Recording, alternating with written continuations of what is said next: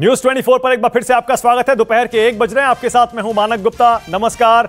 आप जानते ही होंगे अब तक तो न्यूज़ 24 की स्क्रीन पर ये जो आंकड़े दिख रहे हैं, अपनी कहानी खुद कह रहे हैं। झारखंड के चुनाव के नतीजे आ जा रहे हैं।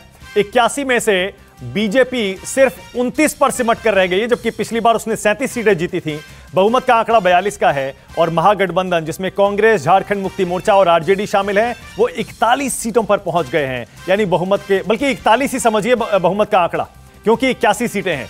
इसलिए बहुमत के आंकड़े को पार करती हुई दिख रही है इस समय कांग्रेस, जेएमएम और आरजेडी। लेकिन बीजेपी और रघुवर दास, जो कि चीफ मिनिस्टर हैं, अभी भी अड़े हुए हैं।